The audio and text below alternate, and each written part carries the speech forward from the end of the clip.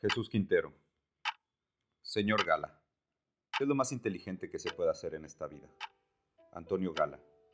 En principio yo le diría irse a una playa, pero en el fondo, de verdad, tengo que decirle que salir de esta especie de laberinto en que nos han metido, una vida que no es la nuestra y que no es la mandada, que es una organización que necesita esclavos para seguir manteniendo la pura organización que necesita esclavos, y así hasta el final.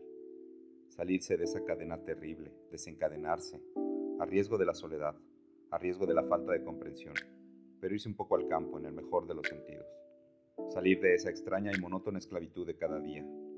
Darle a cada día su propio pan, pero también su propia sonrisa, su propio gozo, su propio color, su propio aroma. Eso es la inteligencia.